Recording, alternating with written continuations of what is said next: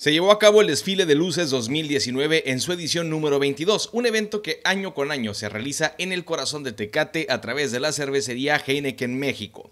Desde las 5 de la tarde del sábado, tecatenses y turistas comenzaron a arribar a la Avenida Juárez, a tomar sus lugares para presenciar este desfile que ilumina la ciudad.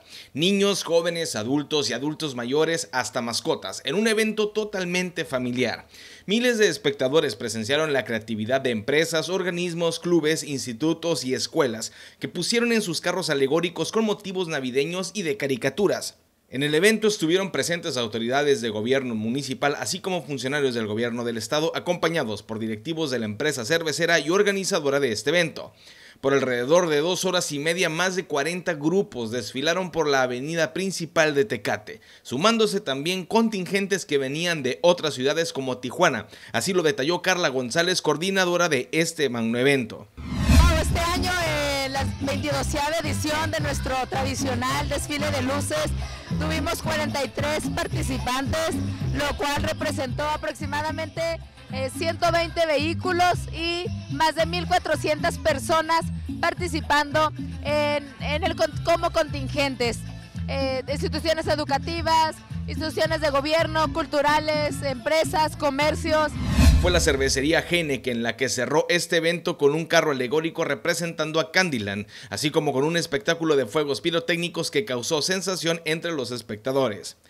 Pues aquí a lo que alcanzamos a ver este, muy bien, creo que como siempre muy ordenado y este, se han extendido alrededor de, perdón, a lo largo de toda la, avenida Juárez, este, desde chicos, grandes, este, con la zona incluyente, personas con discapacidad, adultos mayores, eh, pues estamos muy contentos y pues realmente fue la respuesta que, eh, que esperábamos. ¿no? Con el cierre de este desfile, Cervecería Heineken dejó por sentado una vez más su compromiso con la comunidad tecatense, reiterando la invitación para presenciar el desfile de luces del 2020. Este, se incluyó este, en este desfile pues algunos animales que vinieron a darle este, ese toque especial con los Reyes Magos, con algunos caballos. Eh, yo creo que la verdad que cada año este evento eh, nos supera a todos, desde participantes, desde la logística, desde espectadores.